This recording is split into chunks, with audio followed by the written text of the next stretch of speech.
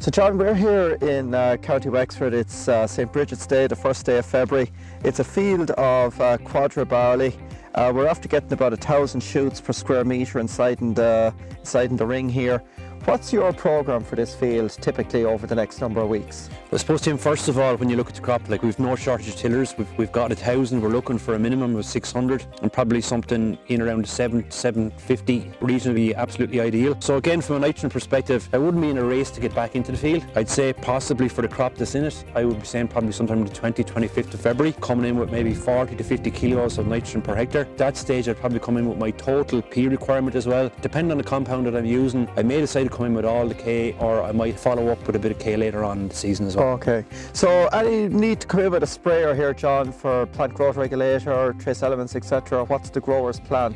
Weed wise, we've got a perfectly clean field. Okay. So from a weed perspective at the moment, there, there's no need to come into the crop. Okay. You'll probably look at the crop again as the season progresses and you might decide to come in maybe in March with a PGR just to get even up tillers Yeah. and whatnot. Thanks very much, John. Thanks, Tim.